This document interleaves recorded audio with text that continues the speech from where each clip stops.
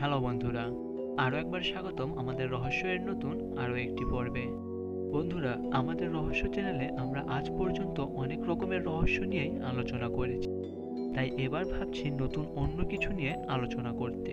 তাই আমাদের আজকের এই ভিডিওতে আমরা নিয়ে এসেছি পৃথিবীতে রাজত্ব করা সময়ের সবচেয়ে বড় বড় সাম্রাজ্যগুলোকে নিয়ে। আর আমরা আমাদের আজকের ভিডিওতে সেই সাম্রাজ্যগুলোকে নিয়েই আলোচনা করব। বন্ধুরা, আমরা সকলেই জানি আমাদের পৃথিবীর প্রায় শেষ পাঁচ হাজার বছরের ইতিহাসে অন্তত পাঁচশো বিশাল বিশাল সাম্রাজ্য সৃষ্টি হয়েছিল। আর সেখান থেকে সেরা পাঁচটি সাম্রাজ্য বাছাই করে আনাটা অনেক কঠিন একটি কাজ। তারপরও আমরা বিভিন্ন তথ্যের ভিত্তিতে পৃথিবীর সময়ের সেরা পাঁচটি বড় বড় সাম্রাজ্যকে বের করেছি। আর আমাদের আজকের এই ভিডিওতে আমরা পৃথিবীর সবচেয়ে বড় পাঁচটি সাম্রাজ্যকে নিয়ে আলোচনা করব। তবে এই ভিডিওটি যদি আপনাদেরকে ভালো লাগে, তাহলে পরবর্তীতে আমরা আরও পাঁচটি সাম্রাজ্যকে নিয়ে নতুন একটি ভিডিও তৈরি করব। তাহলে চলুন, ভিডিওটি শুরু করা যাক। তবে হ্যাঁ তার আগে আপনাদেরকে জানিয়ে দেই, আপনারা যারা আমাদের চ্যানেলে প্রথম এসেছেন বা আমাদের চ্যানেলটি এখনও সাবস্ক্রাইব করেননি, তারা অবশ্যই প্রথমে আমাদের চ্যানেলটি সাবস্ক্রাইব করে নিন এবং পাশে থাকা বেল আইকনটিতে অবশ্যই ক্লিক করে নেবেন। তাহলে চলুন শুরু করা যাক। বন্ধুরা, বর্তমান সময়ে ইরানকে আমরা সকলেই চিনি, যার পূর্বের নাম ছিল পারস্য, আর এটি পৃথিবীর সবচেয়ে পুরনো ও শক্তিশালী সাম্রাজ্যগুলোর একটি ছিল। খ্রিস্টপূর্ব পাঁচশো পঞ্চাশ বছর আগে সাইরেস দ্য গ্রেট আখেমেনি এ সাম্রাজ্যটি প্রতিষ্ঠা করেন। আর এ কারণেই তাকে বলা হতো রাজাদের রাজা বা শাহেনশাহ। ইরানিদের তৈরি এ পারস্য সাম্রাজ্য পৃথিবীতে সবচেয়ে বেশি সময় ধরে রাজত্ব করা সাম্রাজ্যগুলোর একটি ছিল। এক সময় এই পার্সিয়ান সাম্রাজ্যের জনসংখ্যা ছিল প্রায় পাঁচ কোটি, যা ছিল তখনকার পৃথিবীর মোট জনসংখ্যার প্রায় চুয়াল্লিশ শতাংশ। এই সাম্রাজ্যটি ছিল মধ্যপ্রাচ্য, উত্তর আফ্রিকা, মধ্য এশিয়া, ভারত, ইউরোপ ও ভূমধ্য সাগরীয় অঞ্চলগুলোকে নিয়ে। আর এখান থেকেই প্রাচীন গ্রিস ও ভারতীয় সাম্রাজ্যের সূচনা হয়। এই সাম্রাজ্যের সামরিক বাহিনী ছিল অনেক উন্নত, যার কারণে এই সাম্রাজ্যটি এত বিশাল সময় ধরে পৃথিবীতে রাজত্ব করতে পেরেছিল। এবার আমরা যে সাম্রাজ্য নিয়ে আলোচনা করব তা হলো রোমান সাম্রাজ্য।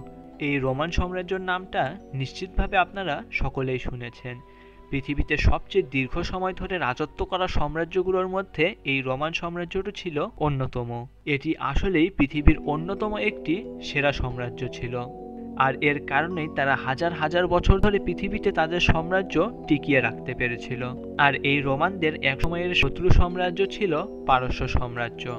খ্রিস্ট ধর্মের আগমনের পর থেকে ধীরে ধীরে এই সাম্রাজ্যের মানুষেরা খ্রিস্টান ধর্ম পালন করতে শুরু করে।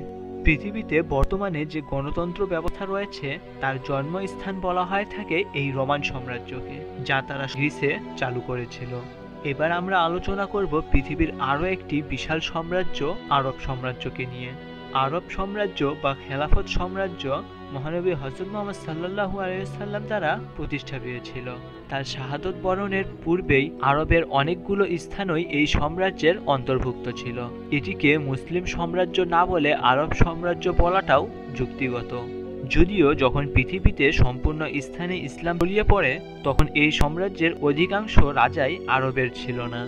যদিও বিভিন্ন সময়ে বিভিন্ন রকমের যুদ্ধে এই সাম্রাজ্যের ক্ষতি হলেও প্রায় বারোশো আটান্ন সাল পর্যন্ত এই সাম্রাজ্যে খেলাফত বজায় ছিল এবং তারপর পরই মঙ্গলদের আক্রমণের কারণে বাগদাদের পতনের সাথে সাথে এই খেলাফত ব্যবস্থা অনেকটাই শেষ হয়ে যায়। তবে সেই খেলাফত ব্যবস্থা শেষ হয়ে গেলেও পরবর্তীতে পৃথিবীতে রাজত্ব করে অটোমান সাম্রাজ্য। এবার আমরা আলোচনা করব মঙ্গল সাম্রাজ্য নিয়ে। পৃথিবীতে অল্প সময়ের মধ্যে সবচেয়ে বড় সাম্রাজ্যগুলোর একটি ছিল এই মঙ্গল সাম্রাজ্য, যারা মাত্র বিশ লক্ষ জনসংখ্যা নিয়ে পৃথিবীর সবচেয়ে বিশাল অংশ রাজত্ব করেছিল।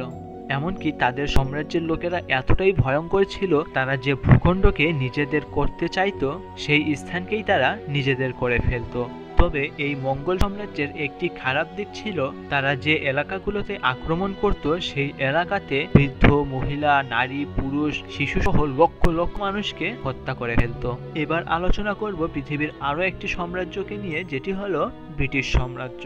মূলত এই ব্রিটিশ সাম্রাজ্য থেকেই আধুনিক বিশ্বের সূচনা হয়। এই ব্রিটিশরাই পুরো পৃথিবীর অধিকাংশ স্থানকে দখল করে নেয় এবং সেখান থেকেই তারা পুরো বিশ্বব্যাপী গণতন্ত্রকে ছড়িয়ে দিতে সক্ষম হয়। তবে পৃথিবীতে একসময় পৃথিবীর সবচেয়ে বড় সাম্রাজ্যগুলোর অংশ থাকা এই ব্রিটিশ সাম্রাজ্য বর্তমানে দুই লক্ষ বর্গ কিলোমিটারের একটি দেশেই সীমাবদ্ধ। প্রায় সতেরোশো সাল থেকে এই সাম্রাজ্যটি শক্তিশালী হওয়া শুরু করলেও দ্বিতীয় বিশ্বযুদ্ধের পর এই সাম্রাজ্যটি প্রায় পুরোপুরিভাবে শেষ হয়ে যায় এবং তারপরেই পৃথিবীতে জন্ম নেয় অসংখ্য স্বাধীন রাষ্ট্র, যার অধিকাংশ স্বাধীন রাষ্ট্রই ছিল ব্রিটিশদের থেকে স্বাধীন হওয়া। বন্ধুরা, এই ছিল আমাদের আজকের ভিডিও। আপনারা যদি চান, তাহলে আমরা এই প্রতিটি সাম্রাজ্যকে নিয়েই আলাদাভাবে বিস্তারিত ভিডিও তৈরি করতে পারি। তবে তা অবশ্যই আমাদেরকে কমেন্টে জানাতে হবে। এবং আমাদের এই ভিডিওটি ভালো লাগলে লাইক করবেন এবং বন্ধুদেরকে শেয়ার করে জানিয়ে দিবেন। আর হ্যাঁ এমন আরও সব ভিডিও পেতে অবশ্যই আমাদের চ্যানেলটি সাবস্ক্রাইব করবেন। ততদিন ভালো থাকুন।